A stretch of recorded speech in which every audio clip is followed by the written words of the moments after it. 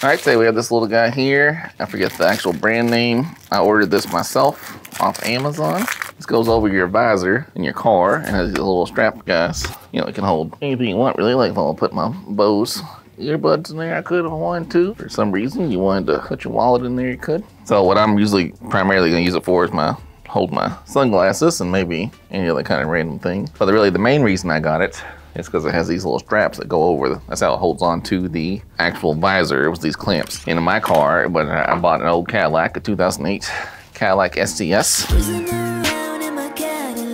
Classic car in excellent condition, and my son broke my mirror, my, the little pop-up mirrors in there. So he's not a toddler either. He's a grown man at this point. The apple fell away from the tree. It's like the apple fell down, and someone picked it up and just rocket launched it as far as they could.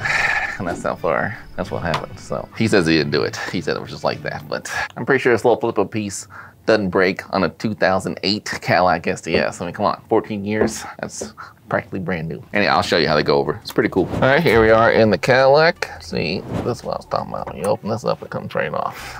So I'm positive my son broke that. Anyhow, so you gotta undo that part, of course.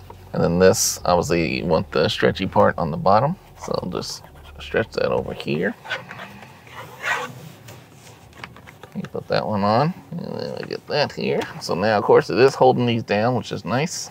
Then we snap it back on. There we go. Then when it goes up, you can see, here's that little stretchy guys.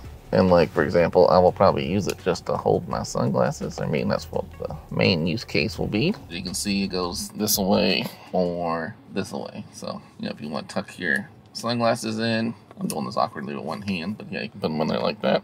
No problem. You can put, you know, anything you want up there. So there we go. Pretty great. Thanks.